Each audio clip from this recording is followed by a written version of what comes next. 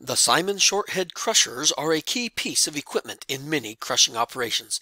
Proper scheduling of crusher downtime and mantle replacements are crucial to ensuring you are running at full capacity.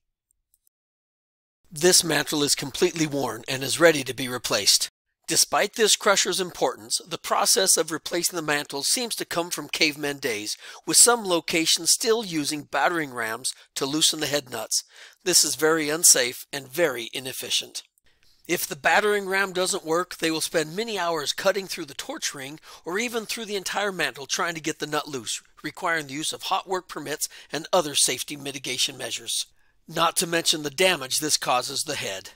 Now we go back to swinging the battering ram, hoping to break that nut loose. The frustration of trying to remove a stuck head nut exposes employees to potential injury. Oh, don't get hit! Many sites have experienced broken bones, smashed fingers, and muscle strains removing head nuts the old-fashioned way. We feel that this safety risk is unacceptable. There is a better way. At TriStar Design and Manufacturing, we have a safer, faster, and smarter way to replace mantles. The mantle clamp virtually eliminates the need to swing a heavy battering ram or cut through the torch ring. Let me show you how it's done. First, you need to retrofit the head by removing the threaded portion and replacing it with the locking collar. The retrofit is now complete. Set the mantle, the torch ring, and the clamp plate assembly. The clamp plate bolts are installed and torqued per specification. As the clamp plate bolts are tightened, the clamp plate is pulled downward, forcing the mantle onto the seat and holding everything in place. No beating with a battering ram, and the hold down pressure is correct every time. Backing can be poured directly into the head, eliminating the need of a temporary pour nut, saving time and money. Finally, you install the cover plate and you're done. That's it. Is taking the mantle off just as easy? Of course it is. First, you remove the cover plate. Be sure to follow the proper sequence when loosening the clamp plate bolts. Once the tension is released, remove the bolts and lift the clamp plate.